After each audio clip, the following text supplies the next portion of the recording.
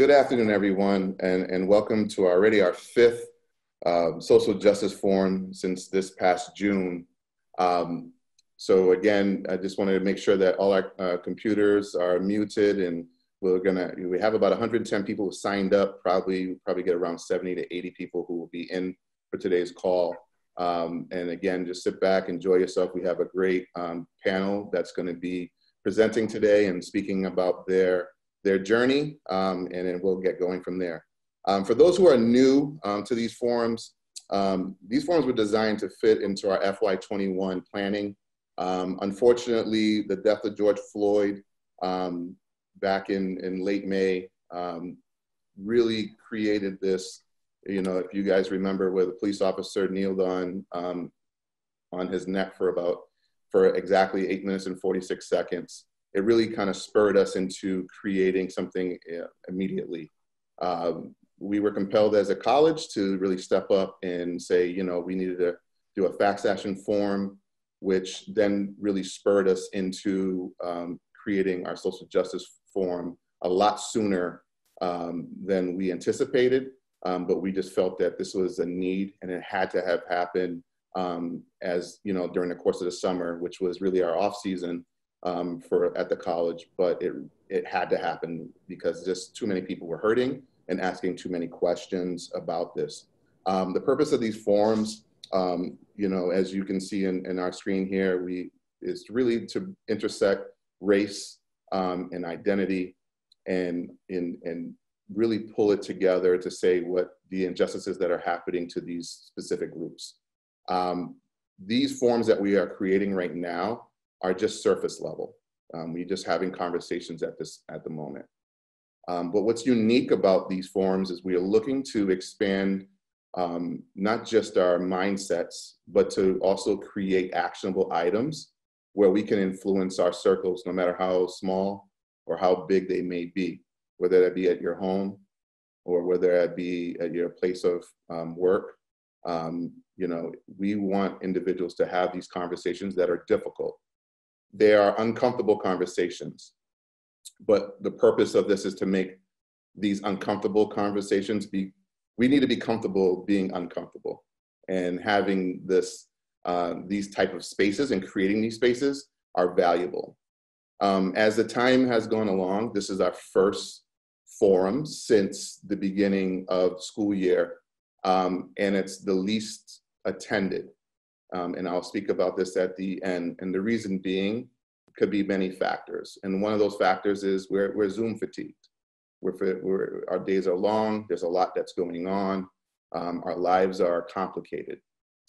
But I want us to keep in mind as we go through these journeys and we speak today, as we have in our past forums, that people who, through different identities and different things that have happened through hate and, and bigotry and whatever, whatever type of vitriol that we may have faced, there is no fatigue in, in our experiences. We, we, you know, we deal with it on a daily basis.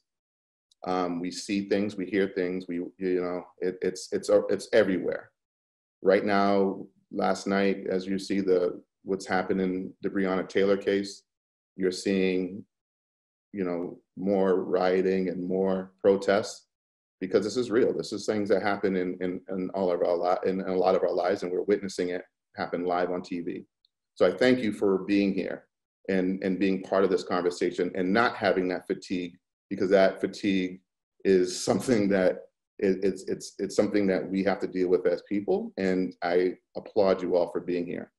Um, remember that these are recorded sessions. So if there are people who we feel that should listen to this, please send it to them um, we will get this out as soon as possible, as soon as we're able to get it captioned.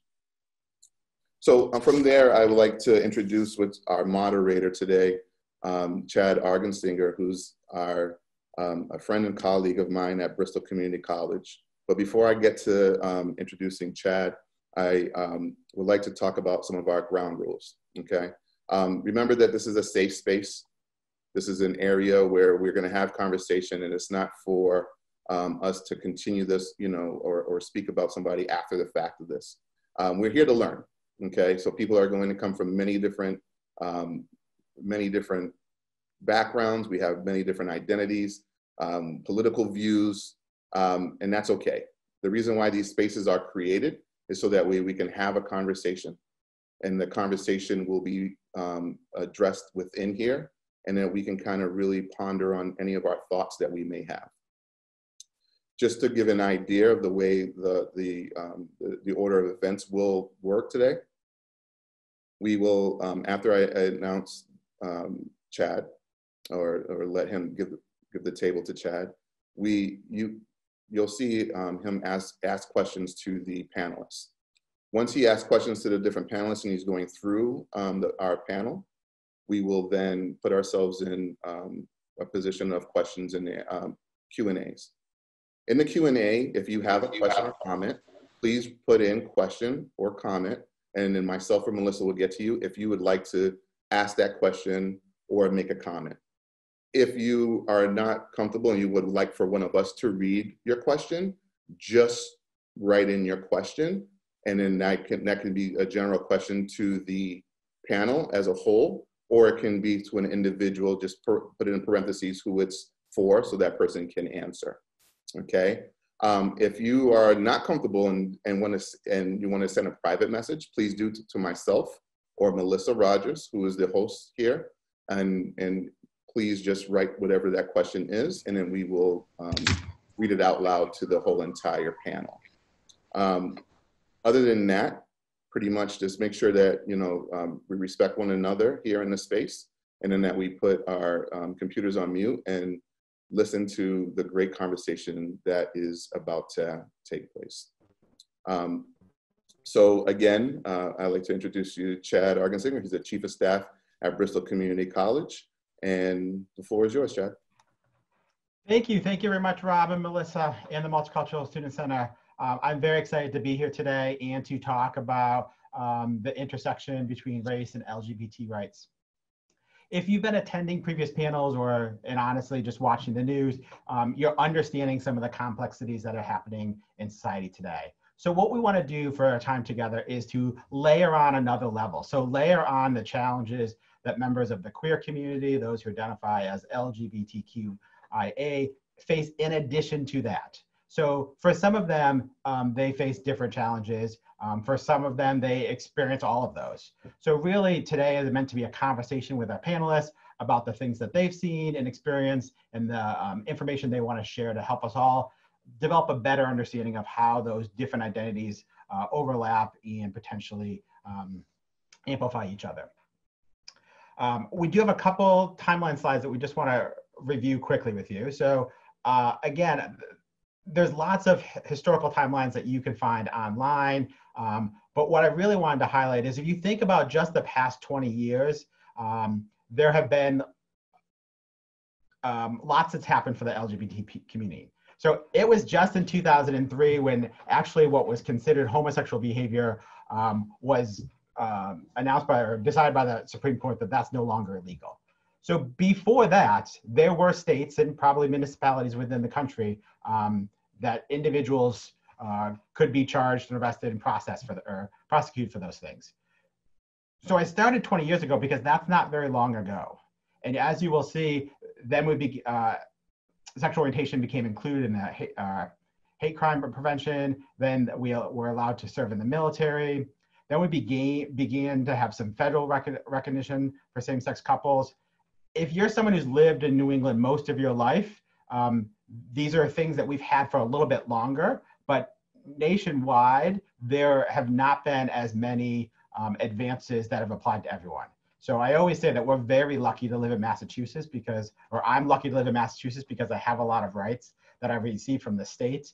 Um, but we are just slowly within the past 20 years beginning to catch up and make sure those things apply across all of the United States. So again, here is just a, a, sampling of the ones that have happened in the last 20 years.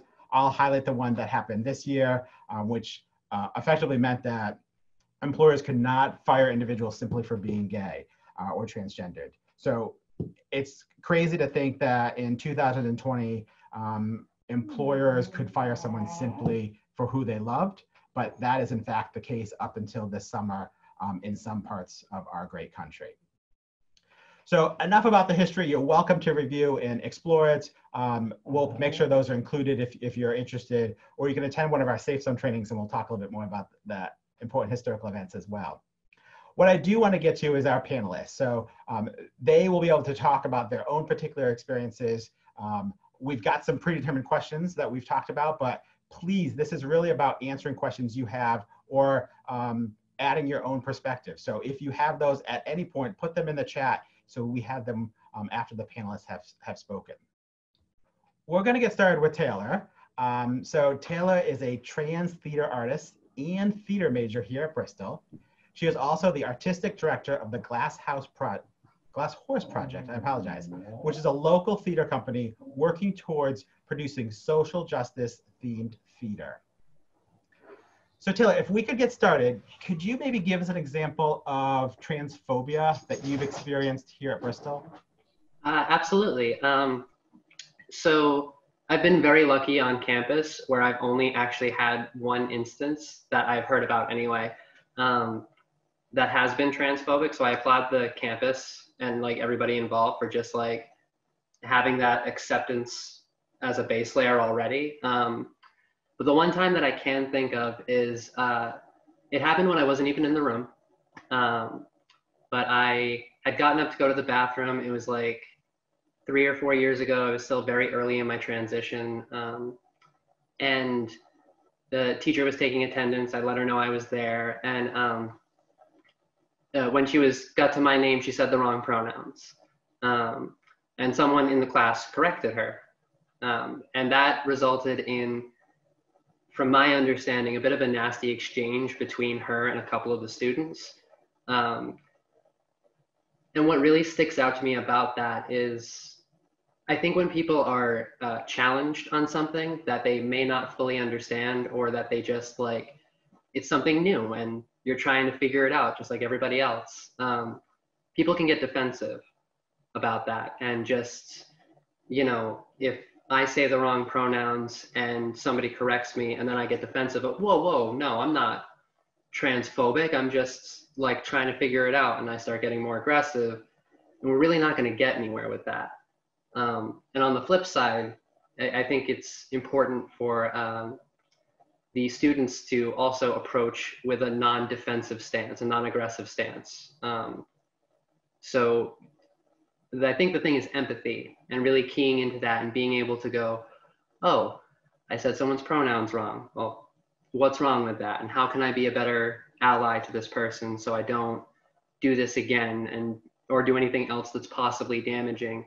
And how do we in the community um, present these things to people so that they don't feel assaulted or like if they do get defensive how can we kind of quell that aggression so that it moves to a more um, what's the word not positive uh, to a place where we can work on it together as opposed to just attacking one another um, so i think that that's really my only experience that i've had on campus but um, I, I think if it had been approached slightly differently there wouldn't have been that nasty exchange. So, yeah.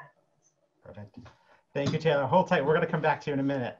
Uh, I want to move to Marty Martinez, who is a, God, I think we've been friends for 20 years, if I'm remembering correctly. Um, so Marty currently serves as the chief of the Mayor's Office of Health and Human Services for the City of Boston, which is the largest agency within the city government. Um, Chief Martinez oversees 10 different departments, including the Boston Public Health Commission, the Office of Recovery Services, the Boston Centers for Youth and Family, as well as the Department of Youth Engagement and Employment. So Marty, if I could, I'd love if you would feel comfortable talking about how being LGBT and a person of color has impacted your work and the work that you focus on.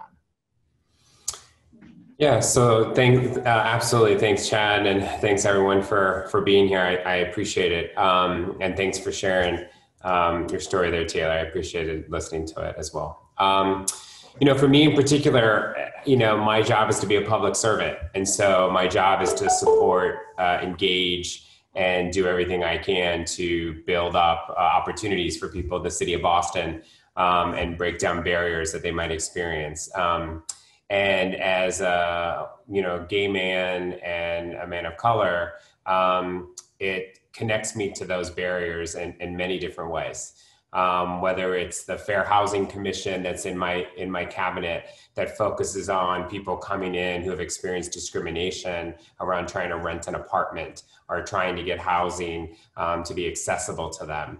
Um, you know, they experience cases around discrimination around orientation, discrimination around immigration status, um, and discrimination because somebody spoke Spanish when they came in to look at the apartment. Um, and so we see that. Um, and I think as a professional in this work, um, you know, every day my job is to sort of do what's best for the community that I live in here in Boston. Um, but I can't help but connect my own personal story and my own personal life uh, to the issues that people are trying to uh, encounter, um, which is probably true for many of you you know i think all the time when i think you know i have incredible privilege because of the role that i'm in. I have incredible privilege as a man in many ways. Um, but i know some of the challenges that every single department in my cabinet works on to try to help people accomplish their goals break down barriers and access opportunity. Um, and i know for many people this intersectionality that i experience as a gay man of color um, I can understand very, very specifically those challenges they might experience. Um, one of the departments that I work closely with is the Immigration Advancement Office. Um, and every single day, especially in the face of some of the federal challenges, they've been working a lot to sort of overcome challenges around immigration and really challenges that people are experiencing on the street and in our community. Um, and every day, you know, I'm Mexican American. Um, my family, I'm a child of immigrants. Um, and so I know what that can feel like, and I can, and I also can relate to the challenges that are in front of people. Um, and so my identity itself sort of shapes myself that way, um, Chad, and, and, it sort of brings that piece of work with me all the time. The last piece I'll sort of share on this question is that you know we've been living, you know, every day, all day. My life's been COVID for quite some time, and um, in that COVID work, uh, it has not only uh, greatly changed our world um, but it has also shined the light on inequities. And those inequities that it has shined the light on um, are by race and ethnicity and language, um, but it's really about access and power. And so those inequities put people in places that they are barriers are in front of them to take care of themselves, their families, and those that they care about. Um, and I see that especially in the part of me within the communities of color in Boston, but I definitely see that within our LGBT community and access to care and access to primary care and prevention um, and access to resources to take care of themselves, um, um not only physically, but also financially uh, to survive. So the intersectionality for me, being gay and being a person of color, greatly impacts my work, um, not only my personal life, but my professional life every single day. Thank you very much. Uh, next, I want to introduce uh, Gia Sanchez. So as many of you may know, Gia is Bristol's Diversity and Title IX Officer. But prior to coming to Bristol, she was a partner with the Pittsburgh law firm. Gia has represented clients in discrimination, civil rights, and education litigation for over 20 years. And this is including prevailing on behalf of both employers and employees in federal and state jury trials and appeals. The bulk of her practice consisted of representing educational identities. Gia, I think you want to start with a, a video first. Yeah, thanks. Uh, I, I, I, yes, let's start with this video. Hopefully hopefully.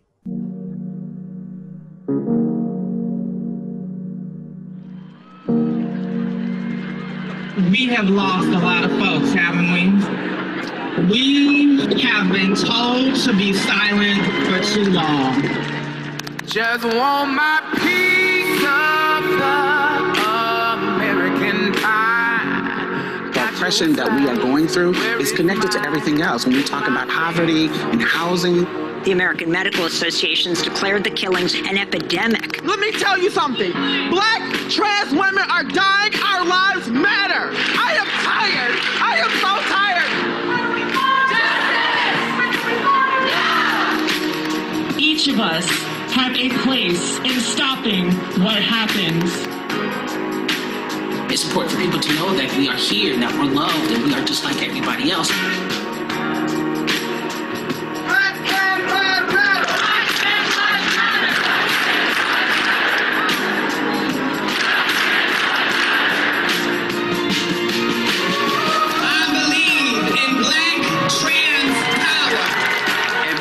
Trans person is capable of creating art, creating innovation. We are qualified to do anything.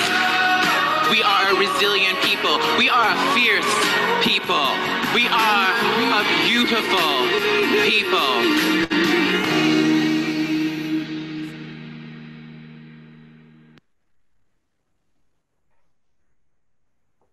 Thank you. I wanted to start with that because I think that's more powerful than anything I'm going to say. Um, I wanted to talk a little bit of the big picture because I think it's important to understand. Uh, there's 1.4 million Americans who identify as transgender, and that is 0.06 of the population, according to the UCLA School of Law. And they, they did a study a couple years ago where they uh, debunked the whole theory of trans women in bathrooms attacking uh, cisgender women. I mean, they found not a single case, but that's where that comes from. But, you know, you wouldn't have seen statistics like this a few years back because people didn't take transgender folks seriously. Uh, for a long time, we were the subject of jokes. Uh, we were deemed as mentally ill by the by the American Association, a psychiatric association. And if that sounds like ancient history, only last year did, did the uh, World Health Organization acknowledged gender dysphoria as opposed to a mental illness. Now, you see the Google video, and they tell us that the American public is starting to learn about trans folks, and that's a good thing, but it's not nearly enough. Um, there is an epidemic, and it does hit most hardly Black and African American trans women. In 2019, there were 26 deaths, murders of transgender or gender nonconforming American trans women. And that's from the Human Rights Commission. And one of the disturbing factors to me in this is things are getting worse, they're not getting better. Over the last four years, we've seen it get worse and worse and worse. This year already, um, we have 28 deaths. And, uh, you know, that was as of August 7th. So that's roughly 2% of the population. And that doesn't sound like too much maybe to some people, but I have a couple of figures I compare it to. It I think shows how drastic it is. Um, many of us, I know myself, is have been touched by by cancer, cancer killing people that I cared a great deal about, my mother and others. And uh, in 2020, according to the American Cancer Society, around 606,000 people will die of cancer there's a, we have a population of what 331 million. So that's 0.18 of the united states population. Uh, the fbi statistics are even uh, more dramatic. From 2018 uh, there was around 16000 people that were murdered.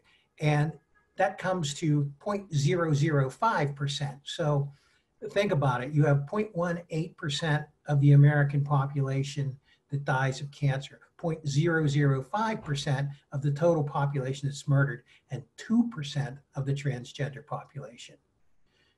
It's, it's, it is an epidemic and it doesn't get the publicity or the attention that it deserves, but it is a, a crisis in our country, in my opinion. So there are a few other statistics I'll touch on with you.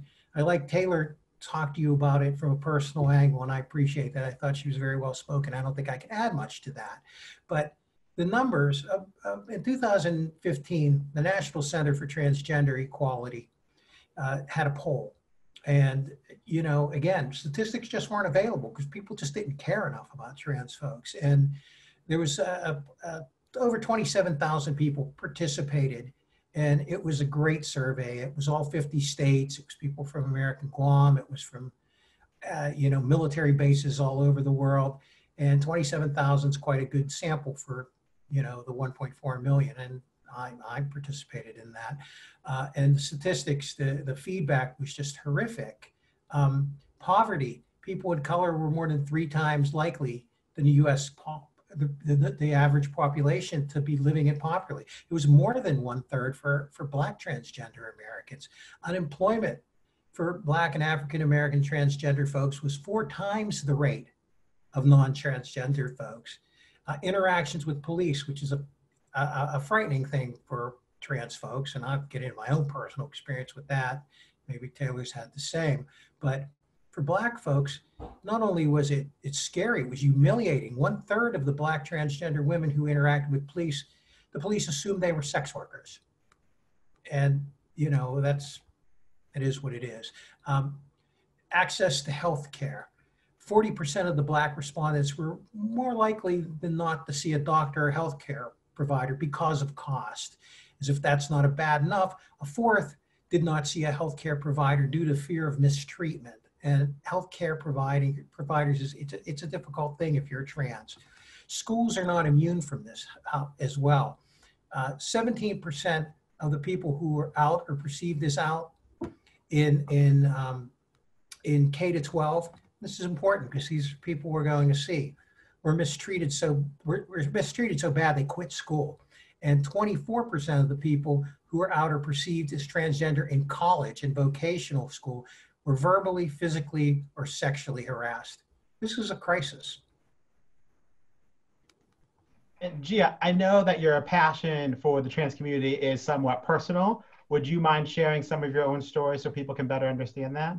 Yeah, sure. Um, I come from a a, a position of privilege. I um, I transitioned older. I was already an established attorney. I had a profession behind me. But with that being said, I have experienced harassment, some severe harassment, and I still am worried if I have to go to an emergency room or go to a specialist because they don't. So many of them don't don't don't understand, or even worse, they're prejudiced, and you you, you wonder about the quality of your care.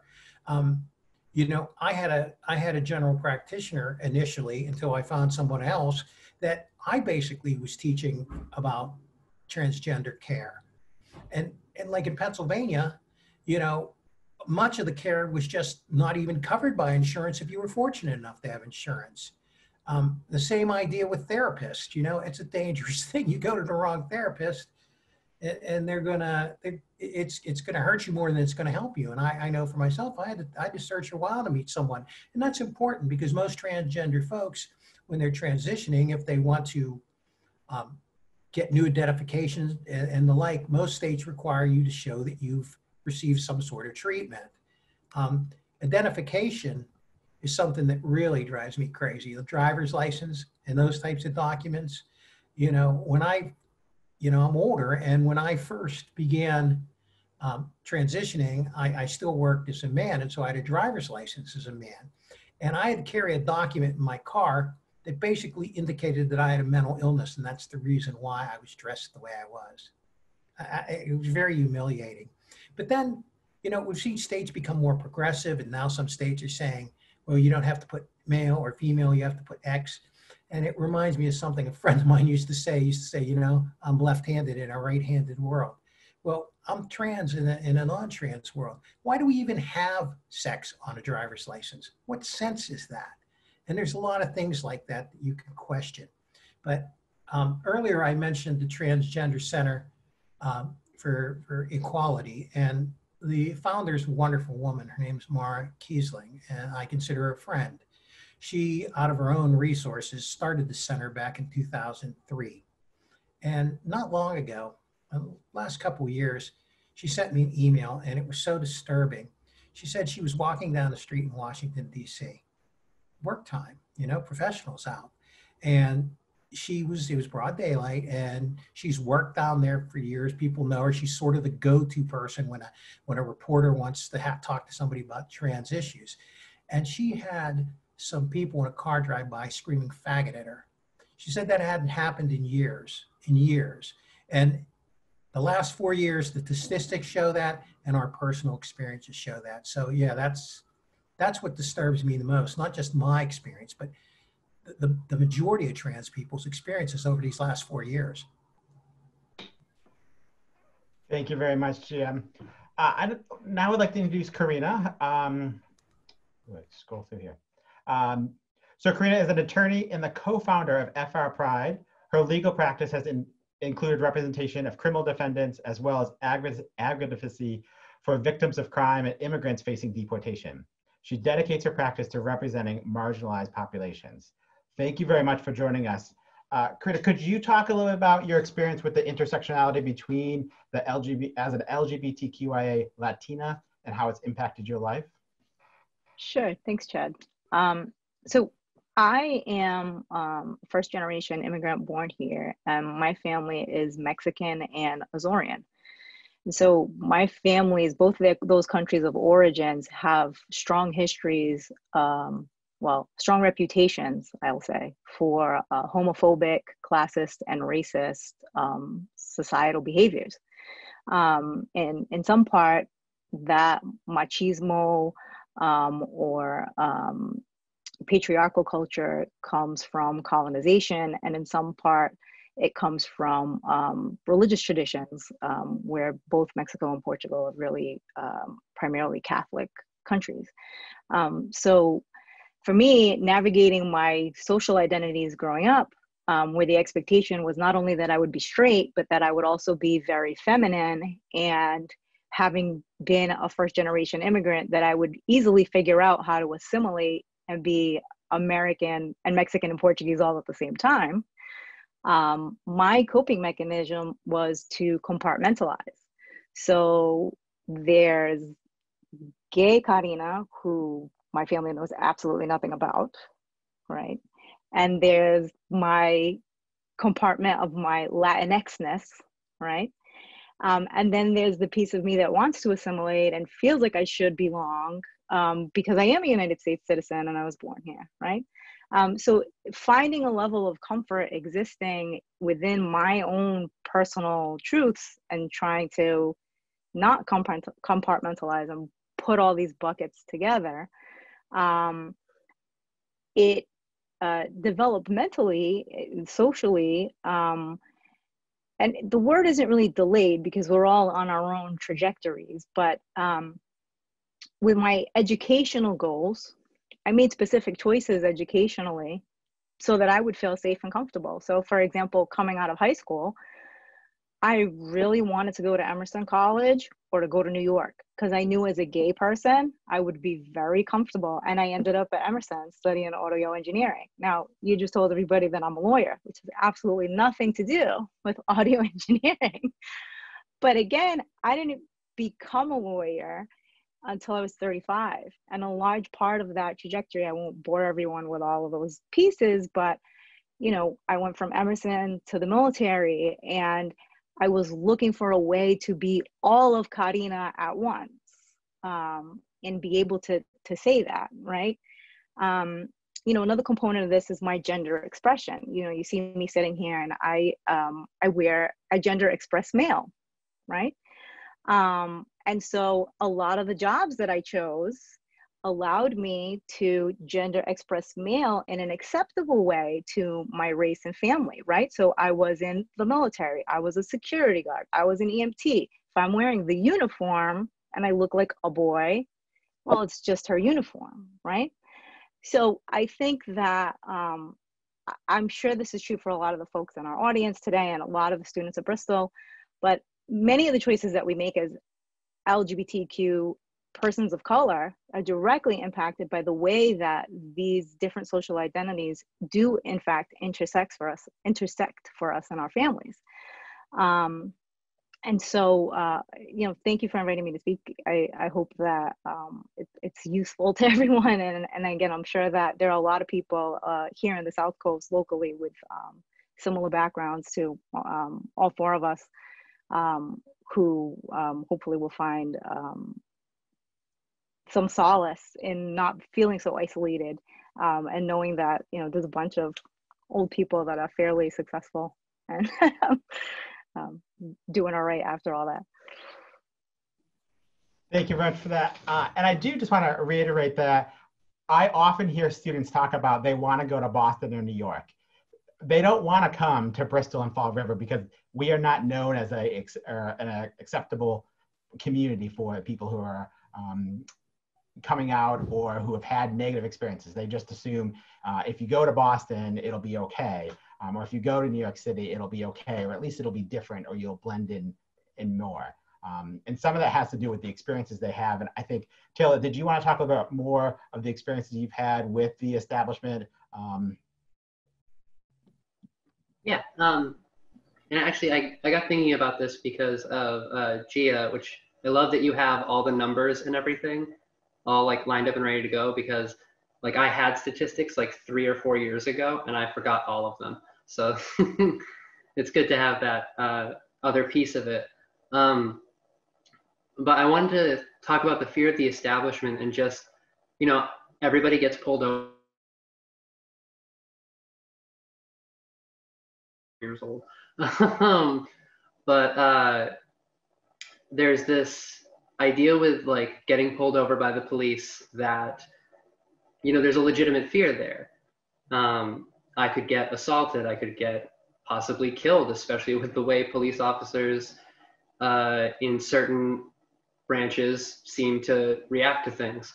Um, and another big fear that i have being pulled over with police or interacting with police is this idea that i'll get thrown in the wrong prison which is like such a weird fear to have because like i'm not even necessarily so worried about like oh if i go like if i go to jail i'll be very upset about that obviously. But if it's the right one i can at least be like all right like i think i'll be pretty safe here.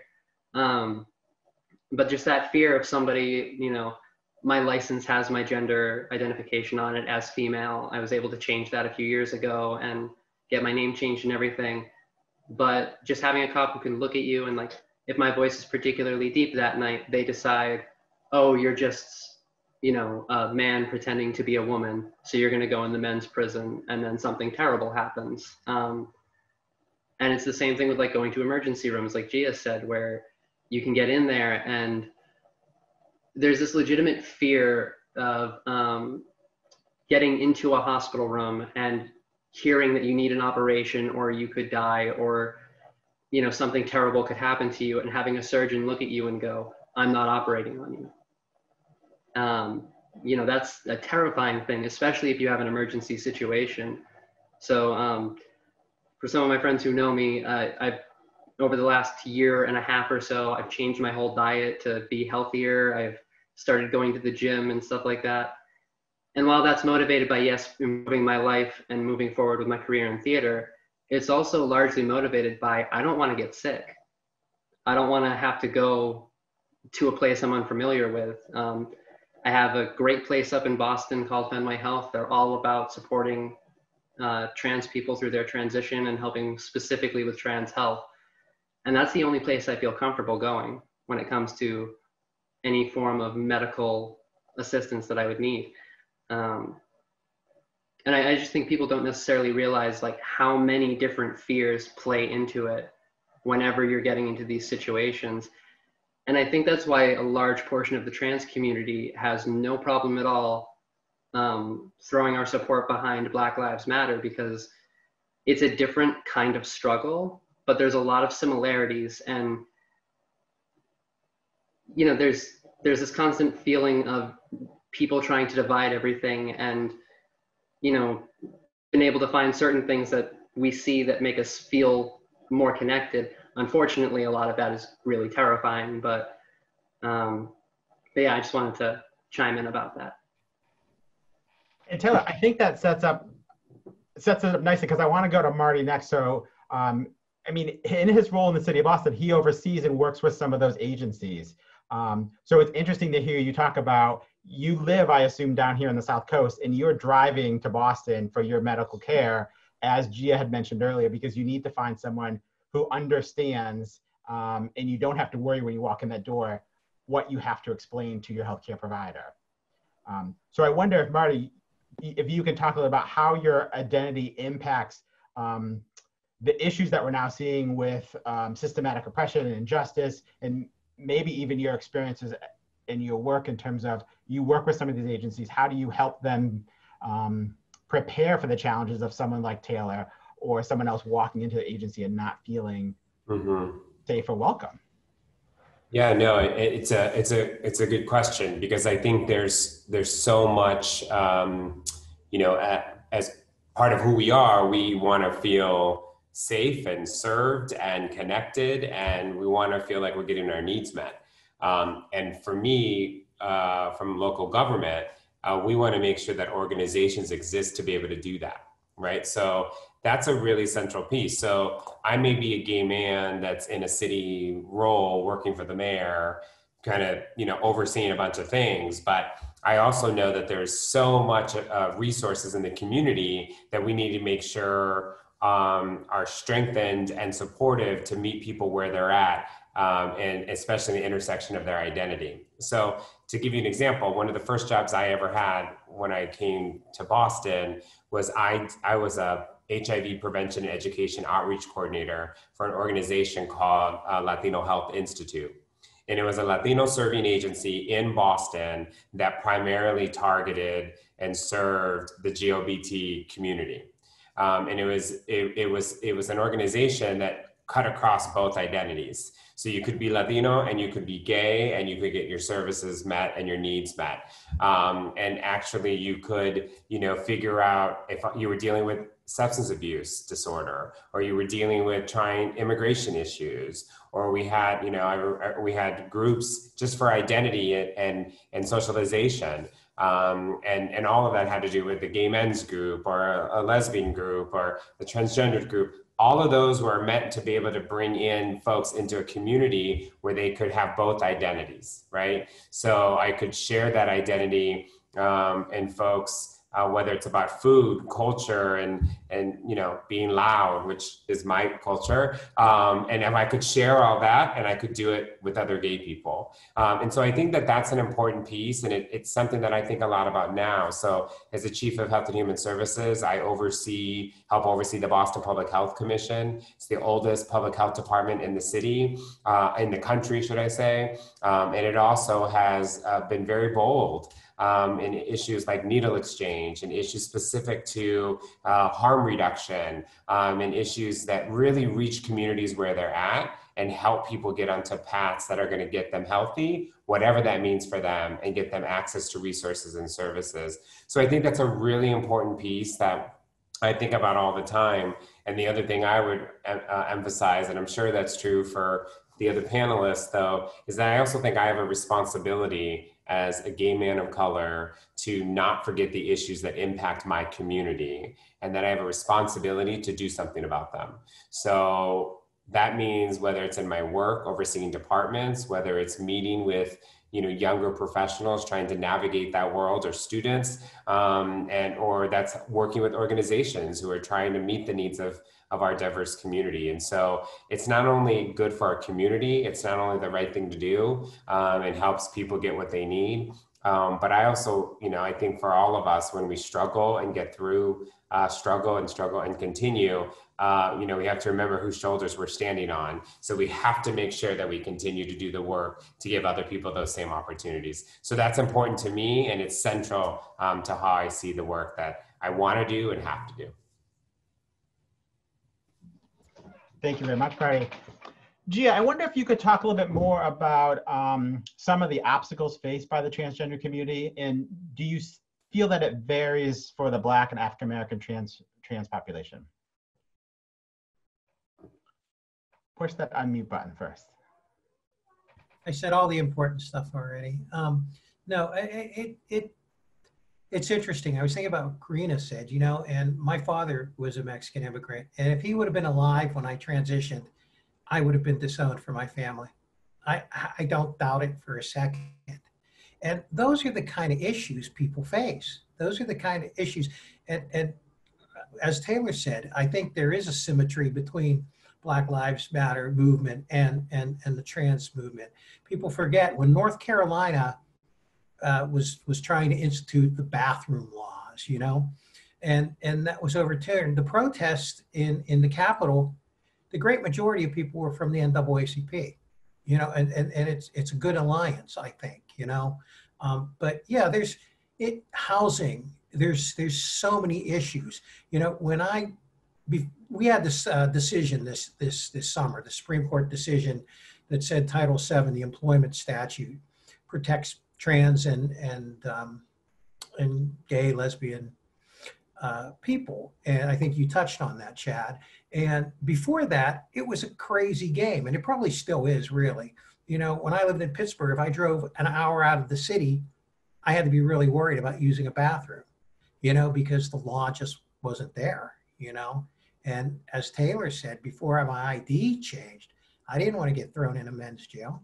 You know, and, and it, it was scary. It was really scary. But all those barriers are still going to exist in housing. They're still going to exist in in in medical care, opportunities of every sort, public accommodations. They all still exist. And and you know, I didn't mention this when I was talking about the deaths. Something like 90% of those deaths were African American or black trans women. So it's even more outrageous than the than the numbers, you know. So I think it's obviously just looking at the death statistics, it's worse for African American and Black women, trans women. It, it's it's clearly worse. Um, but it's no day at the beach for anyone that's trans. You know, it's it's it's it's difficult. Thank you. And I think Karina, could you share? Do you have any statistics or information about um, family rejection or homelessness for the queer community that might identify in the black and brown or Asian, because um, I think that builds upon Gia's comment or suggestion that um, black trans women are even at a higher risk than trans women in general. Yeah, sure. Um, so uh, I know we've all been um, talking about how all how this impacts us as LGBT persons of color, but uh, you know, really to think about the magnitude of these issues, I'd, I'd like to start with focusing on youth. Um, so, Latinx youth, when who identify as LGBTQ, are 85% less likely to complete their four-year degrees. And so, if we think about that, this is an enormous, 85% less likely to get a four-year college education, right? And so I want to take a moment and roll that back and kind of unpack that a little bit with what Marty and Gia and, and Taylor and we've all mentioned here today because it's all interconnected, right? Why such a high number among Latinx LGBTQ youth, right? Well, if um, LGBTQ youth are overrepresented in the homeless population because family rejection gets you kicked out of the house, family rejection makes you want to leave early family rejection makes you pick a college somewhere really far away where you don't know anybody and have no support system. So it's less likely that you will complete, right? Um, no support system in your community. Taylor just mentioned, you know, uh, and and you mentioned the South Coast, the far Greater Fall River area is not known for being particularly LGBTQ friendly, right? LGBTQ friendly folks from here leave, right? So why is that? Um, the the reason that um, we actually started um, the co-founder Nikita Vieira and I started FR Pride was to focus on how these issues are impacting the youth in the area to prevent these dire statistics like um, lack of educational attainment, um, like in the Black youth population who identifies as LGBTQ they don't only represent a huge number in that homeless youth population, right? Um, but they actually represent 31% of LGBTQ homeless youth are Black youth. I don't have a breakdown about how much of that 31% are I also identify as trans, but that is an inordinate amount of the of the the youth homeless population, right? And and we can see um, this is probably for a later conversation but we can see the direct link in a, in statistics that marty probably uh, has right in front of him somewhere on his computer from homelessness to juvenile detention to adult incarceration right? Um, you know as gia said a, a lot of trans youth are going to be assumed incorrectly to be sex workers right um, you know, and, and one thing I want to add too that um, we've all touched upon uh, as, you know, uh, first generation immigrants here. But um, the work that I do now is in deportation defense. Um, a lot of that with uh, LGBTQ asylum seekers from um, Latin America, Central America specifically. Um, and I think one of the conversations that's missing is you know, when folks come here because they're looking for acceptance here based on their gender expression and gender identity, um, and then, and, and I mean because, you know, um, for example, Honduras is the country in the world with the highest murder rate for transgender persons, right? So I see a lot of LGBTQ uh, asylum seekers from Honduras. Then they get here to liberal New England and they experience transphobia and homophobia and, you know, um, verbal assaults, some violent assaults here. You know, it, um, it just I guess highlights the fact that we also have a lot more work to do. You know, um, and I, you know, I'm really happy to be on a panel with folks who are so engaged in social social justice movement and social justice issues um, to keep um, promoting that uh, equality. Um. Thank you very much. Um, I'm going to transition a little bit and ask Taylor about some positive things in terms of how we can move forward. But this will also be the opportunity that if anyone on the call wants to share their story or share a comment or has some questions they'd like to ask the panelists, please go ahead and start putting those in the chat if it's something you want to share. Um, it doesn't need to just be the, the four panelists talking. We'd love to hear from everyone else in terms of what their experience has been or questions they might have. Uh, but Taylor, can you maybe talk a little about why you think it's important to have a queer positive attitude on campus? Absolutely. Um, so uh, I have taken like a solid decade or so to figure out who I really am. um, so I came out in high school and I thought I was a gay man. Uh, and then, you know, I thought that I was pansexual and all this you like I was tr- really trying to figure it out. And then I came out as trans and realized that I could come out and I could be accepted by my family, luckily, and by many people in the community.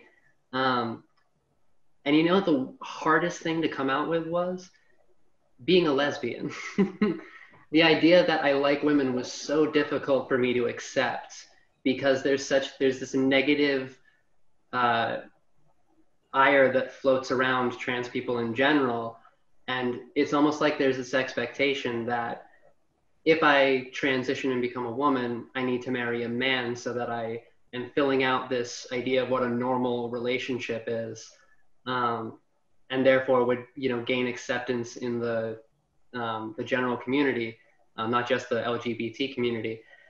And it took a long time for me to figure out that like I could have done that, but it just I wouldn't have been happy. There was always something missing in every relationship I had with a man, and one of the big things for me there was this negative idea of what a trans person who is interested in other women is supposed to be in these fearing minds like you know getting back to the whole the bathroom thing that was going on a few years ago it was trans people are monsters who want to go in the bathroom and assault people and I mean, even that made me feel like I couldn't acknowledge my uh, sexuality because if I do, all of a sudden they're going to start to conflate me with that idea.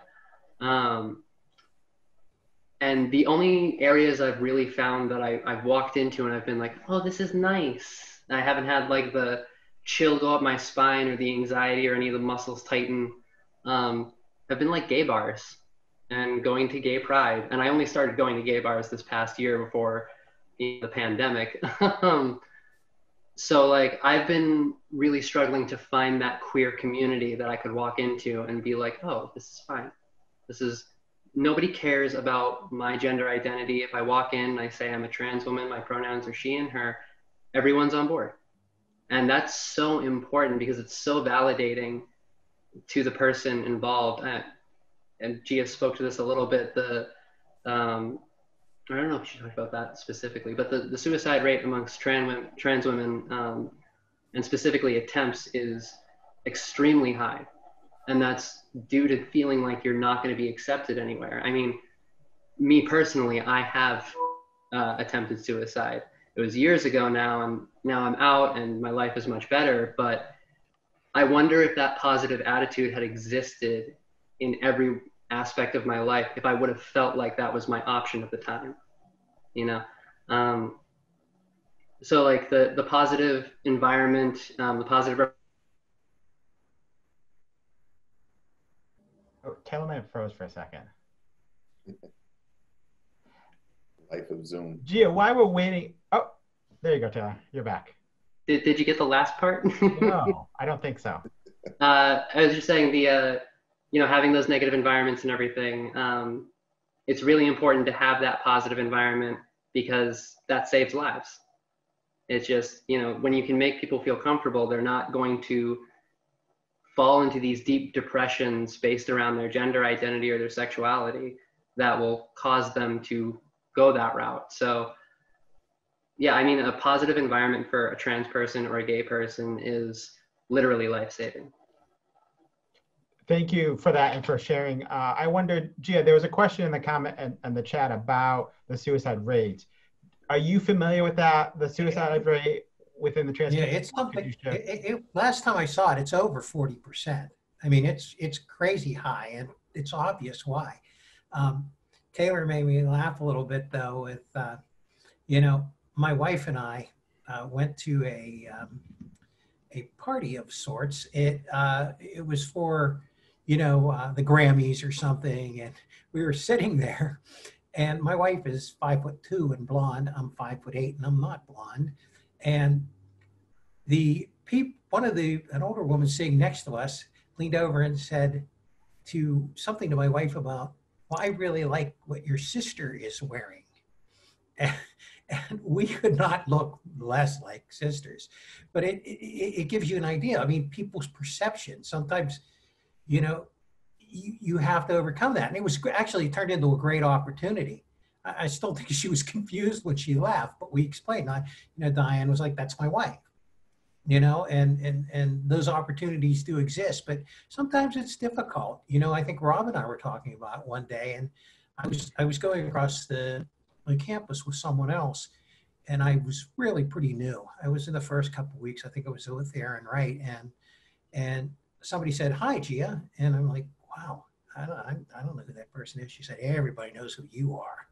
you know, and it's tough because you feel like you're you're carrying this like, you know, this mantle. You know, you know, you're supposed to be super. It's it's difficult. It's just really difficult, and it's because of the small numbers.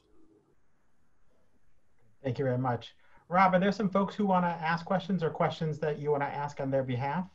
Yeah, um, I'll just kind of go through the panel and I'll start reading some questions out and I also will call on people. So I know, uh, Coach Cheese, you have a question for the panel? Yes, uh, um, good afternoon. Um, my name is Coach so I would like to um, thank you, Rob, as well as uh, Melissa for you know having this excellent forum. I mean, it's a great opportunity for people to be educated and to learn, you know, that you know there are you know people who certainly encounter you know very uncomfortable situations. So again, you know, thank you as as well as Melissa. Uh, my question, and I just wanted to share a brief experience. Um, about three weeks ago, you know, I was actually stopped, you know, when, when I was driving by the police. And as an African American male, whenever you have an encounter with a police officer, I mean, you know, your heart is like pumping real fast. And my question to the panel now, Gia, you mentioned previously that there are times when you are afraid of the police. Can you please tell you know everyone like what type of experiences you know that you guys have you know relating to the police? Uh, it's different for all of us, I guess, and I think Taylor touched on it very well. You know, before I, I transitioned, you know, full time, I I still had DM on my driver's license, and you know, it was a scary thing. You know, you hear of people all the time, of police officers making stuff up and that's why we say I think it's stupid we have a gender on the license because if I'm speeding as a man or woman, it's still 70 miles an hour, 80 miles an hour. I, I don't get it. I, I totally don't get it. Um, but yeah, I mean, I worried the same things as Taylor. I ended up, am I going to end up in, in a jail with the wrong gender? Am I going to get beat up? Are, are they really, and, and a lot of times back, at least in the past, and I haven't experienced this of late, a lot of people felt they could take advantage of trans folks because you really weren't going to come out and, and, and get in front of a group of people and say your side of the story because no one was going to believe you because you were mentally ill. So I, I, I, I still get nervous when I see the police. Yeah, thanks for that. Because I think that is also true for others that uh, if you are not open about how you identify with family and friends, you are not going to risk getting a ticket and fighting that because you don't want to have to admit what bar you were coming out of at the time or why you were in that area. So I think it adds another level that forces some people to say, I'm just going to keep my mouth shut and go forward with this. Because if I say, why was I in this part of the town? People are going to start, my family's going to ask questions. And then I'm going to have to explain that on top of why I was speeding. Rob, were there other questions? Yep. Um, so Caitlin Sylvia has a question, but also wrote a question. So I'll just leave it open to you, Caitlin, if you want to ask your question. Hi guys. Um, my question is, how, how what was the hardest part about being part of the LGBT community? Like, what was like? How was it hard for you guys? Like, what was the hardest part about being part of, like being part of it? Who wants to take a stab Um, at that? So I'll try to add. So um, being part of the LGBTQ plus community is not hard. Being treated as a normal human being, part of society by family, friends, work, cops, judges, whoever, that's the part that makes it difficult, right? Being myself is not hard. Myself is easy. Um, feeling free to be myself around people who are constantly judging me and questioning the essence of who I am, that's the part that makes it hard. So I don't know if that's answered the question.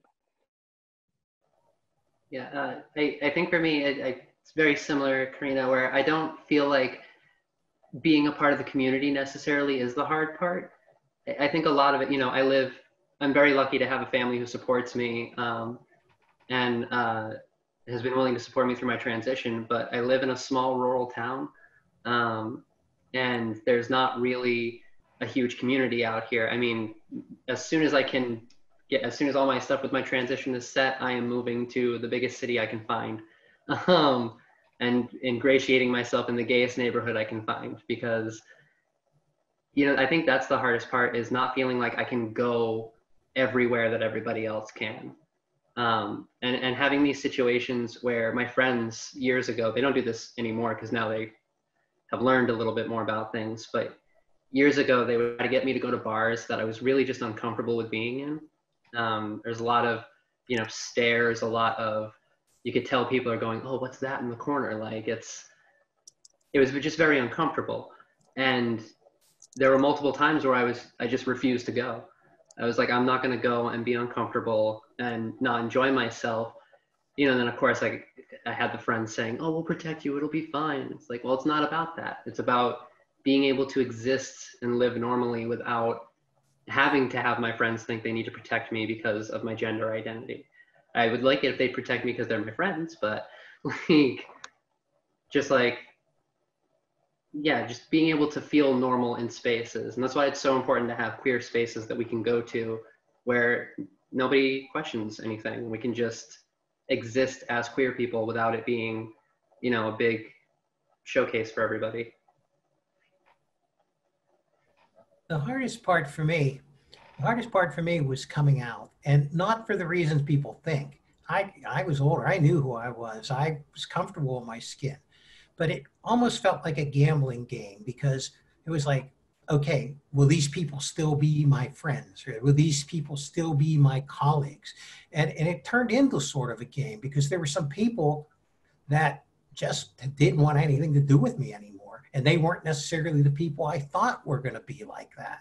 And it, it, it really hurts. It really hurts you to go through. It, hurt me. It really hurt me to go through. Um, you know, I can think of a couple people, you know, um, that, that were like that. And, and yeah, I, I, the reason I'm at Bristol is I wasn't going to go transition in a state or a place that was not going to be friendly. My sister lives in North Carolina. It kept saying, "Oh, apply for a job down here." I'm like, "No, no, no, no. I'm not going to do that." I mean, you know, my wife and I were looking at, you know, we're looking at the National Center for Transgender Equality. It's like, okay, Delaware, good. Georgia, bad. You know, and, and it, it's crazy. You know, but I, that was the hardest part for me is, you know, some people that you thought you built up good credit with all through the years that and and they just can't handle it. They just you lose all credibility with them. And I, I found that to be very hard. I'll just um, add one last piece that, um, you know, I know, that I think of students and others, but, um, you know, I, similar to Karina, I, um, you know, I love being, I love being a gay man and I, I love um, being able to express myself and, you know, the life I have with my husband and the ability to sort of, um, you know, press and push equity for my community, and I love that. Um, I also love being Mexican and being Latino and all the pieces that come into my culture, and I love owning that and owning those pieces and and doing that. Um, and I also love being able to uh, talk about it, even when somebody doesn't want to talk about it. Um, and what I mean by that is in settings and in places. I talk about my husband at work. Um, and I, you know, I'm in a position of power in city government, and I can be in a room with business leaders and executives, and you know, all kinds of things. And uh, I will find a reason to bring up my husband um, because uh, I love the fact that I can do that, and I'm going to do it. I also know it comes from a place of privilege, and I can't forget that, and I own that, and that's real. But um, I think that uh, I do everything I can to lean into it uh, because I have the ability to do that, which means I have a responsibility to make sure people understand that. So that's the piece I'll add to that. I think Julie has a question, but let me go to Nikita first because I think she might want to chime in on this topic. But then, Julie, you put a couple questions in the chat. I'd love to have you either ask those or we could read those for you. Nikita? Thank you, Chad. Um, I just wanted to briefly touch upon passing people people like me who pass um, in the LGBTQ community, um, we often face a lot of barriers and challenges that are extremely hard to go through. Um, for example, to what the police topic, right? I got pulled over, and one of the first questions in the lineup is, oh, well, not really questions, but more like insinuations like, oh, I'm surprised you don't have a few children back there. And the first thought I had was, well, why why would you assume that I have children in the first place? I'm a lesbian, you know, like I didn't have children at the time and I was in a fully committed relationship with my partner.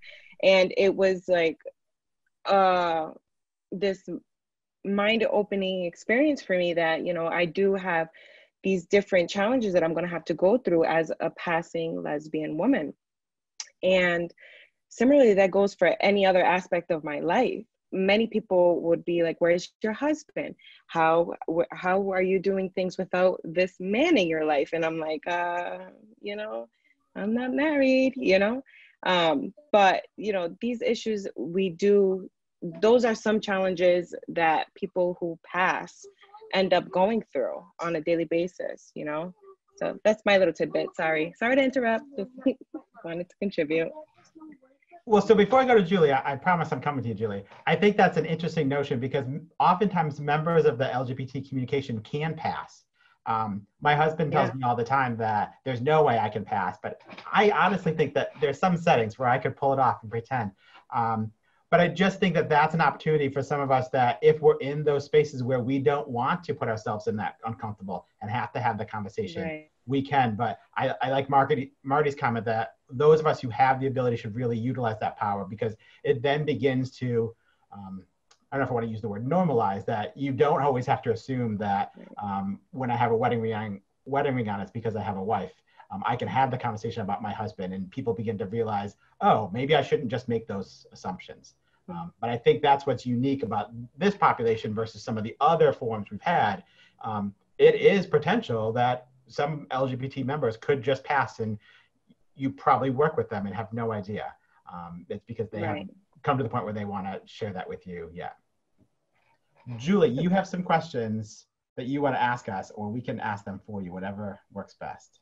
Sure, I put them in the chat, but you know, my daughter and I are listening, and we're just wondering if you have any idea how accurate the data is in terms of how do people really identify, especially as being trans, and and if is there are those numbers even reflective of how many people are actually um, you know living living the life of being trans but not necessarily in the data and and potentially um, you know struggling with different intersectionality and and certainly discrimination? Do you have any idea I'm guessing they're low. I, I'm guessing they're low. I think, um, I think Taylor put it very well. Is it? It's a, I it was for me at least, Taylor, like you. It was like an evolution to figure out who I was, and and so I think some people they're still figuring it out, and they may be in denial or they may not want to indicate that. So I, I think the numbers are probably higher. So I would agree with Gia, um, only because you know a lot of these surveys, um, they're really small groups. I think one of the largest surveys I saw was out of the uh, University of Connecticut, and that was a little bit over two thousand folks who responded. Right, um, for all the reasons listed, it's difficult to get folks to reply honestly, not just because they're still um, transitioning within themselves, but also because um, if you're not out to your family, if you're not out in this particular setting, you're going to be really reluctant to write that down on a form, no matter how many times it tells you that it's an anonymous uh, data collection survey, right? So I would assume that for all of these data points, the numbers are going to be slightly, if not, hopefully not dramatically higher than they already are. Because if we have a low response rate, think about that. If we've got a low response rate, we know 40% of homeless youth are LGBTQ, and 31% of those are Black kids. I don't. I mean, I can't imagine what those numbers would look like if they were accurate, right?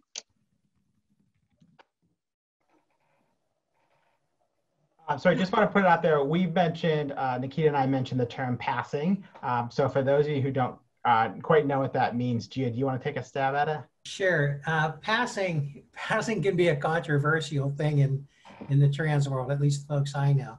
Uh, passing means that you are attempting to not not appear to be trans basically you know?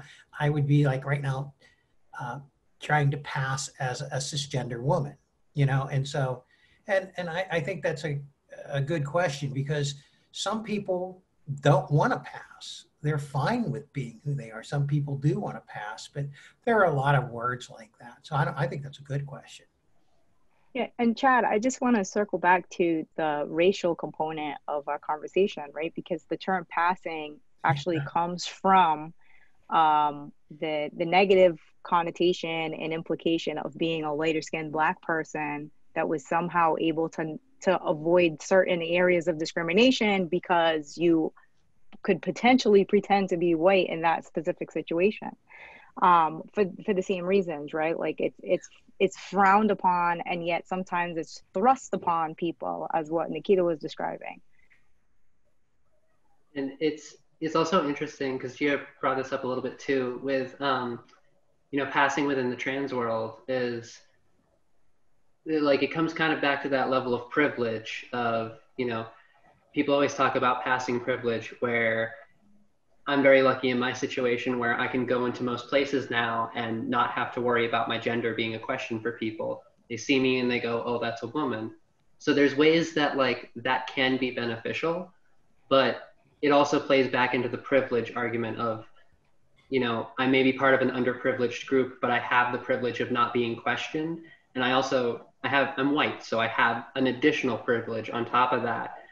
And it's just I don't know. Passing is a, an interesting topic because it it's at both times super negative, but can be somewhat positive depending on where you lie on the identity spectrum. But I, I would just say, right, that for, from my perspective, I think that to what Marty said, right, like if you find yourself where you're in a situation where you can either pass or where you are accepted or slash tolerated because you're in a position of power.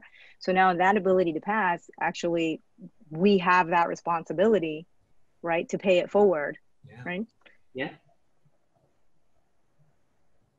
So, Robert, there's some other questions in the chat. So, um, Julie, I know you had a second part of the uh, question here. Would you want me to read that out, or would you like to ask it? Oh, sure. I'll ask it. I mean, generally, I was just wondering, you know, I know the most basic advice is that we should be empathic, we should be accepting.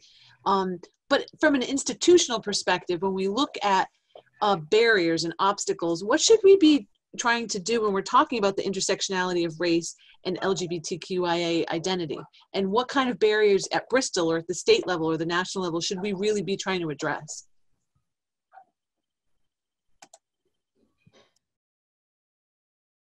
Anyone want to take a stab at getting started at that?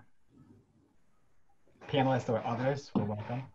I'll take a stab at the national with, at least from the trans pers- perspective. I mean, we're seeing it now. I mean, we, we need to have greater protections and greater opportunities for trans folks, you know? Um, like I, I mentioned before, insurance, you know? It really shouldn't be a question you know, if a, a, trans man wants to have top surgery and they're working somewhere, why isn't their insurance covering that? Uh, so there's there's there's a dialogue with a whole bunch of different things. I think for for trans folks on the national level. So if I could speak to the local level a little bit, so um, I think we definitely need to focus.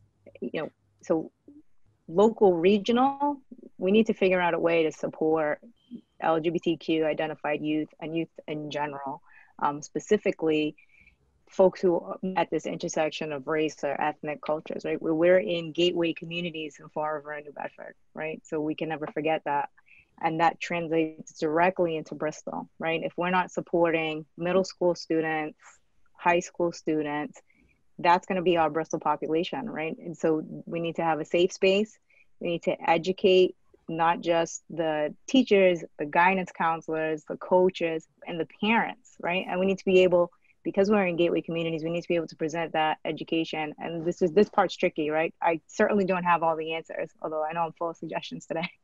but we need to be able to educate in a culturally competent way, and that means across different ethnicities, right? Folks that are going to have a religious opposition to this um, because of their, uh, you know, uh, countries of origin, all that. We, you know, we don't have as anywhere near the strong supports that Providence or Boston have, right?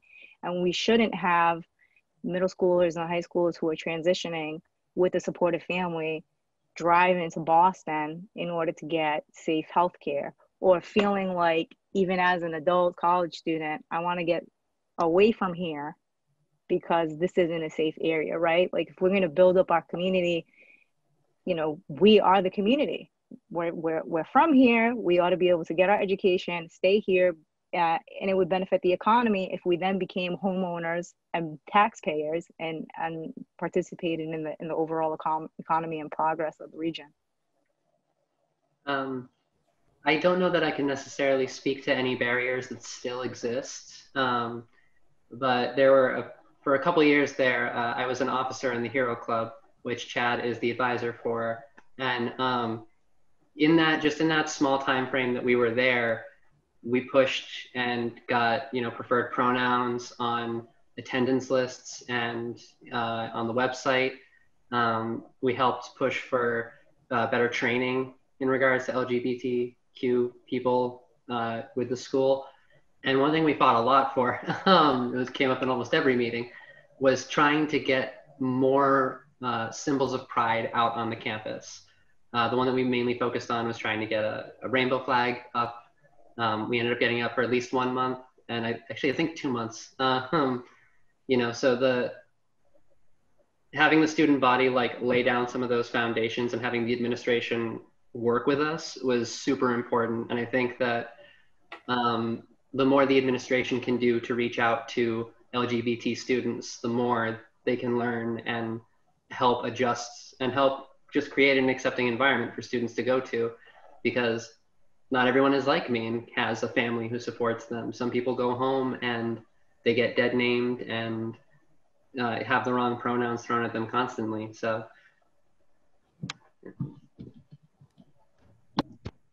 I will just chime in there quickly because I, I, think that uh, some little things go a long way. So I know Julie's been through our safe zone training. So attending something like that and getting your decal and publicly displaying it.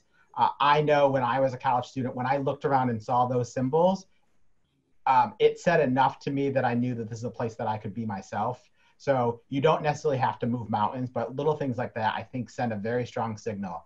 I know today when we drive around and look at different neighborhoods, we're looking at some of the signs and things that we see. So we want to live in a, in a community that has some Black Lives Matter signs up because then those communities are more connected. So it could be as simple as um, putting a safe zone sticker or choosing to attend those trainings so that all members of the community know that this is a, a safe space for us.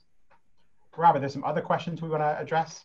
Yep, so the next question is from Rose, and it says, thank you for putting this panel together. Uh, my questions are, one, for those, um, for those of us that consider themselves as LGBTQ plus allies, what is it that we can do to best support you?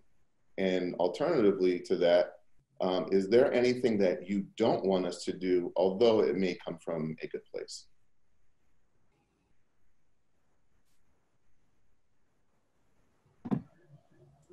Just speaking from my personal experiences, um, it's very nice when people uh, are just trying to get to know you, trying to get to know your pronouns, trying to make you comfortable. But one thing that's super uncomfortable is uh, getting told the profuse level of apology, you know, having someone make a big scene out of doing the wrong thing and having to apologize for it. That's not something that they intend to do is build a scene and everything, but you know, if that person is um, really not trying to draw attention to themselves in a moment and then that all gets thrown out the window when somebody is you know i'm so sorry i'm so sorry i'm so sorry it's you know we care that you try but i think it's um, uh, a little crazy to like you know feel like you need to go like way beyond where you need to to be supportive i agree yeah, with that Oh, go ahead, Jill. Hey, Karina. Okay, um, I, I agree with that, and I think that can go pretty far. I like one of the things I don't like to see that I think happens with a lot of trans women. It's happened to me, is this comparison. You know, oh, I thought you were, I thought you were a cisgender woman. It's like, oh, that's a compliment, really? You know, and I think people need to think. You know, just just treat us like what we are.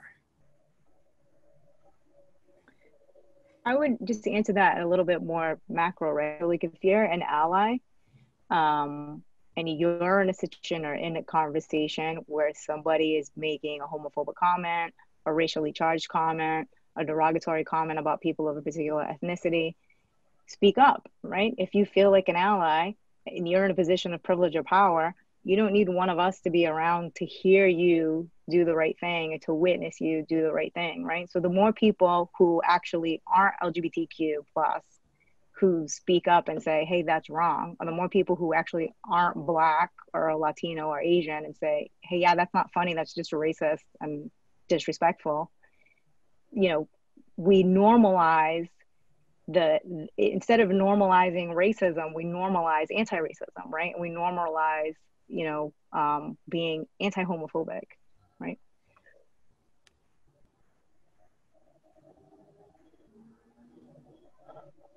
And feel free that if you're uh, not on the panel, but you have some thoughts about what you've seen work well or not work well, um, please feel free either to, to chime in or add that to chat. We'd love to hear that as well. We I have a um, private question to ask right now. Um, so it was sent to me and it states here, as a high school instructor, um, what are some ways, sorry, the thing is scrolling up and down here. What are, uh, as a high school instructor, what are some ways, methods that I can uh, use to ensure that any LGBTQ students in my class um, see it as a safe space? This is especially important to me because this is um, because this is often the age where they can gain independence and beginning to face some struggles um, when their choices may not um, be respected or valued at home. There is. A, I, oh, go ahead.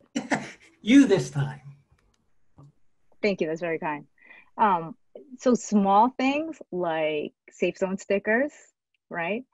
Um, like you, your high school may not make an issue about pronouns, but in your classroom, you can just ask everyone what pronoun or what name they would prefer and just make that a ground rule in your classroom that everybody respects that. Um, so I, I, would start with with small things like that, and I think that if that is a um, a, a, ground rule and a steady structure that you you maintain in your classroom, then students will feel safe at least there in your little little world of, of the high school. There is a website called Teaching Tolerance, and it's fabulous. That's exactly what it's for. It's for um, K to 12, and I mean, I think it's adaptable. I think we can use it as well. But it it goes through the the ways that you can as a professor, as a, a, teacher, that you could be supportive by what you what you have in your curriculum, uh, the books you use, the movies you use. There's, there's a, a, list of things you can do, including something like making sure that you have a, a safe zone sign or something that indicates where you're coming from.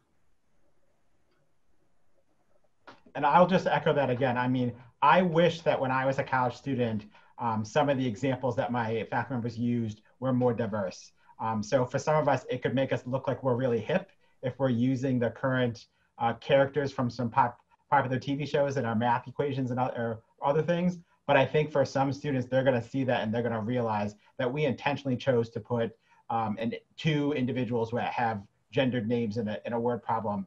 Um, and many other students, I don't think will notice that, but I guarantee that the queer student in your class is going to see that and say, oh my God, I can't believe that they chose to use these two names. Like it is going to light them up and they're going to be more engaged with that material simply because you switched out some names or you use something that is another way for them to connect to that course and that material. Yeah and uh, just to echo that chad like it, it comes back to representation and it doesn't matter what subject you teach it can be you can have lgbtq people in your word problems, in your questions, um, in the curriculum without uh, sensationalizing it. You can just have it be a normal part of it where it's not just, oh, I'm putting this out here for these students. It's that you're trying to normalize it so that, you know, the numbers don't have to be equal, but there are representations of heteronormative stuff and then there's representations of LGBT stuff. So, um, yeah. The, um, where and the next question I have here is, do we feel um, like within our own community, we need to do more to help people understand?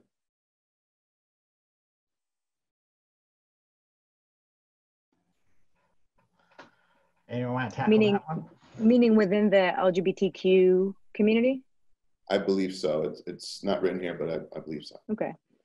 Um, well, uh, yeah, I mean, I think to each of us to our own ability and to the degree that we feel comfortable but um yeah the the i i think the only way to achieve um and i see that this it you know maybe the word isn't tolerance but to achieve um understanding right is that you know if i want you to understand me we have to relate on some human level right? So you may not end up liking me. I may not become your favorite person, but in order for you to at least respect me, I have to engage you in some conversation, right? And so, um, I will sometimes get asked personal questions that I'm sure women in heterosexual relationships don't get asked. And I tolerate that invasion because I feel you who are asking me this question, you've probably never met a gay person before or if you have you've never felt like you could ask that question of that. So the folks in the community yeah we each have a little bit of, of a responsibility um, to different degrees of course to and i say to different degrees because you know some of us here are working in uh, acad- acad- academia. I i'm an adjunct i only teach one class. Um, but in you know my full-time work as a public interest attorney i'm always trying to highlight these issues of inequality when whatever whenever whenever they come up which is pretty frequent as i'm sure you can imagine right? And in my class i try my best to structure my class in a way that is as inclusive as possible right? But again in in personal life and day-to-day conversation even though it's exhausting sometimes and even though sometimes it can feel offensive to get asked some things that i know other people wouldn't get asked um, but if I don't tell you, or if I reject answering this question in this moment, what am I leaving you with? Right? How do I move this forward for you or for us? So I think to a certain degree, it is our responsibility. Yeah, and just to chime in on that, I think that um, I think that you're right. It does somewhat fall on our community to take care of this because you know you hear the phrase you you have to meet people where they're at, and it's not always easy, and sometimes you just can't.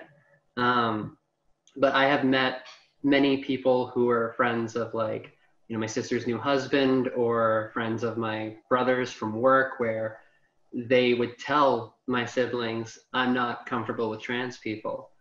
And then they'd be like well come meet my sister. She's like she's weird but she's fine.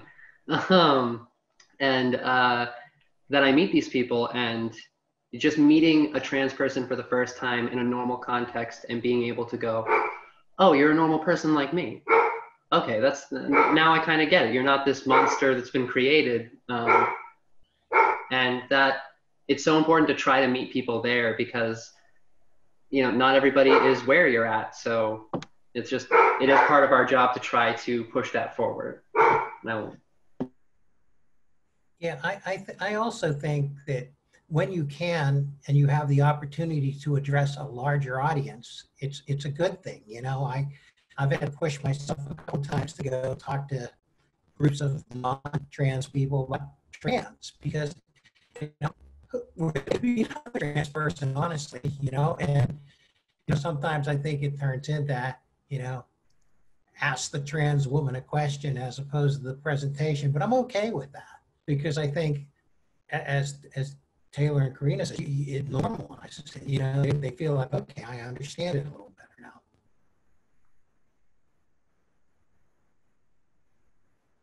Rob, is there maybe one more comment or something we want to end with? Yeah, so um, we probably have about another eight minutes um, here. So I have a comment and then we have two more people that have quick questions. I think we can get to them. So this one is um, on the topic of passing. I am bisexual, but I am married to a man and I am cisgendered woman with feminine pronouns and, and who presents herself as feminine. As a result, I have been in many situations throughout my life where acquaintances have made insensitive jokes about the LGBTQIA people. I appear straight, so sometimes people around me would think it was all right because uh, no one would be offended. I came out um, one time a half an hour after the joke, and immediately the reaction was, I'm sorry. But it was troubling the joke was even made in the first place, regardless of who I am or who was there. Powerful. Um, next one is uh, Cochise. You had a, a, comment?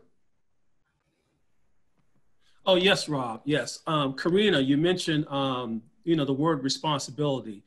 And I just wanted to say, you know, to you that, you know, I agree 100% because, you know, it's our responsibility, you know, particularly when you are around family and friends and people don't realize that you have power. And what I mean by that is that when when you hear inappropriate comments about the LGBTQ community or you know other um, inappropriate um, statements, it's your responsibility to call that person out. And a lot of times I have gotten into trouble and I don't care because if I have a family member who says something that is derogatory in regards to a particular community, I'm going to call you out. Okay. And I just want to end by saying that we have the power. And if someone is close to you and they make, you know, inflammatory comments, you can shut them down by your power. Oh, thank you. I, I, I appreciate that. And, um, you know, uh, again, this this conversation is about uh, intersecting race and, and LGBTQ plus issues, right? And so, um, you know, uh, from from a Latinx perspective, right? Latin people, most Latin Americans are Black Latin Americans, right? But because of colonization, because of the slavery and the indentured servitude that occurred, um, and the classism, there there is embedded racism and colorism within all Latin American um, um, countries, right? So you take those layers, um, which already exist in your family, and then you come out as gay or as trans um, or uh, you know as a lesbian, bisexual, whatever the case may be, and you're compounding it. And so often that's the, the the the place where you feel the most pressure to stay quiet but the most important place with people who know you right? For you to speak up and say hey you know I, have I've had it in, in uh, happen in my family right? Where somebody make a derogatory comment about uh, an african american. And i'll say well you know you know how you feel when you get pulled over right? So it's the, it's not it's not different right? Like all you're doing is the same thing to them right? And so it, when we compound these issues and layer them it, especially for youth um, it can be really hard to feel powerful or to feel empowered when you're in a position when you're actually financially dependent on your family and you have you know what's the option? Do i stay here in this place where i feel oppressed and unaccepted? And in in some cases um, uh, we've we've been contacted at FR Pride in some cases where there's actually been physical violence on LGBTQ plus um, kids of color within their homes um, because they try to come out to their families. So so what's their choice? Do they stay in this environment? Do they try to speak out or do they silence themselves? You know.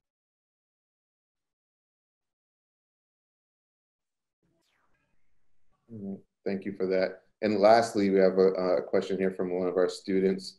Um, if someone is in the middle of transitioning from one gender to another and you see them being picked on, what is a good way to help them? I think it depends on how they're being picked on. I think as um, we talk about in Safe Zone and some of the other things is if you can insert yourself into the conversation and redirect the conversation, that's great. Sometimes you can't just call somebody on something. Sometimes that just is not viable. And it also may make the transgender person feel very uncomfortable. So I think that, but it, it depends, you know, if it's something really outrageous, you know, you may want to interject and say, hey, that's, that's no way to speak to anyone, you know, but so I think it depends on the circumstance, but I think it always works to, to try to redirect the, the conversation because if the person making these comments, they, they're going to understand what you're trying to do, I think.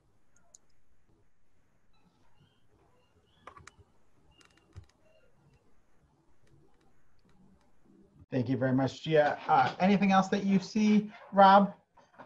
No, I think right now we're pretty good. There was a couple of just direct comments that I think people are just saying overall about liking the space, and uh, I think we're ready to get to our next uh, next phase here. Wonderful. So, Gia, I know that you had provided some um, resources that you wanted to share. So, as Melissa pulls those up on the screen, um, could you talk about some of the resources you've identified for folks?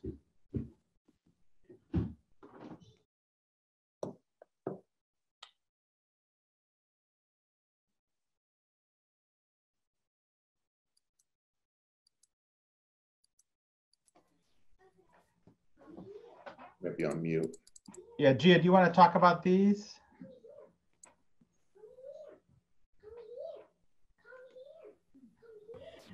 My best stuff is coming when I have the mic on mute. Um, the the um, this is if you know someone who's who's trans, this is particularly if they are transitioning or whatever, or they're just coming to terms. This is a great site.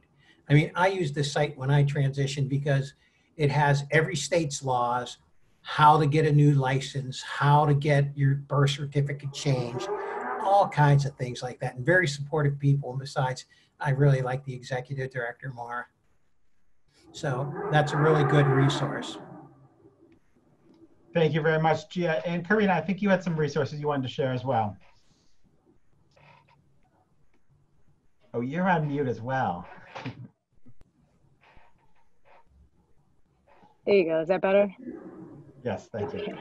Um, the first link provided is to the FR Pride website. Um, right now, due to the COVID 19 debacles occurring, um, we're not having um, meetups yet.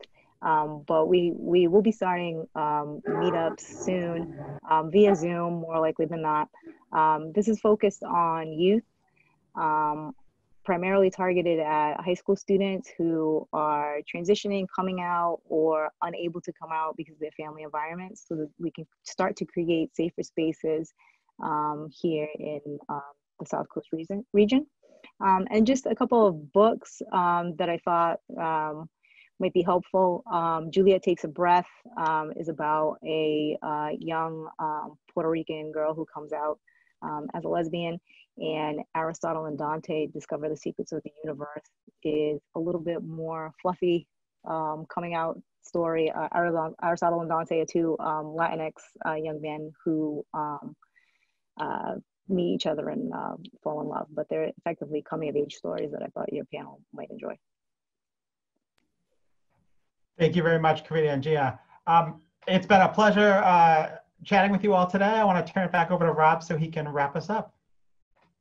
So thank you, Chad. Um, again, uh, can we give a round of applause to uh, Chad and to our panelists? It just um, there's reaction button on the bottom. Hit the clap button and show the love. It was an absolute um, fantastic forum. Um, and and remember that you know, these are important conversations and these forums are really built right now as we're going, we're speaking about the surface level of these intersectionalities. And the goal of these, of, of these great forums is to really pull, you know, to really kind of start this conversation. And then eventually we're gonna really look at some specific items where we're gonna kind of really take a deeper dive into these um, topics as we move forward. And as you um, see on the screen here, on July 2nd um, was after we did our initial George Floyd and, and talk about police brutality um, on, earlier in, in the month. We, on July 2nd, we did our police and criminal justice. Then we did our race and educational and equity, our race and women's rights, and then we did our race and LGBTQ rights today. And then our next one is October 22nd, which will be race and disability and mental health rights. So that one is pretty large, um, but we're trying again, again, they're open conversations where we're trying to look at some intersection and we're also looking to start the conversation. And as time moves along, we'll, we get, we'll, be, we'll narrow it down and be a little bit more um, specific. As you can see also in November, there will be another um, forum, which will be race and immigrant rights. So there's a lot more to cover um, and you're gonna see it's, it, it, it's robust. There, there's many things to kind of speak on.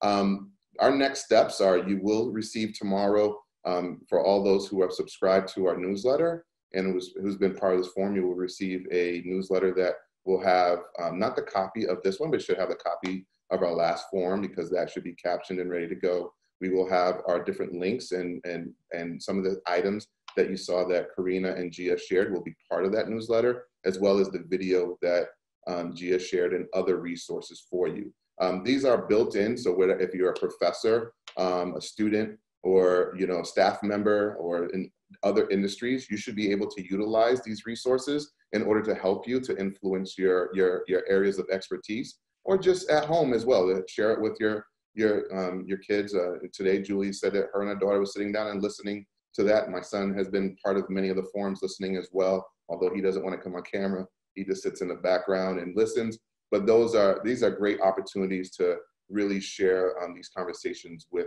your family members, um, friends, and so on and so forth.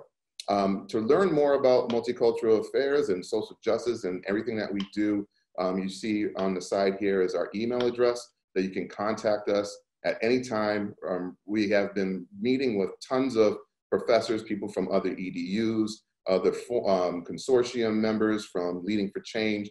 There has been tremendous the amount of um, uh, attention that we have been getting here and really kind of really spreading out the word. Um, you all have parts to be, you all have strengths. If you would like to um, talk about those type of strengths and how you maybe you can help us in future forms, please do so. If you're, you're looking at ways that you can influence your classrooms or something, please do so as well. And we can kind of either come in, have a conversation, or we can help design certain type of things and work with you um, if you know time permitting, we can do that. Um, I thank you guys. Chad, again, excellent uh, today moderating. Um, couldn't have done that this without you. Um, Taylor, Gia, Karina, and also uh, Marty. It was excellent. Um, uh, and if anybody needs anything, you know where we are. Um, please follow us on Twitter and all our social media networks, and we will go from there and keep fighting, everyone. It's, this is really, really important um, as everything is coming down and as we're watching the news, it's, it's awful out there. Um, but our positive minds, our souls, um, coming together and creating the space of positive energy will help change this world little by little, um, but at least we know that there's good here and we'll continue doing that good work. So thank you um, and have a great weekend. We'll see you guys October 22nd. Thank you.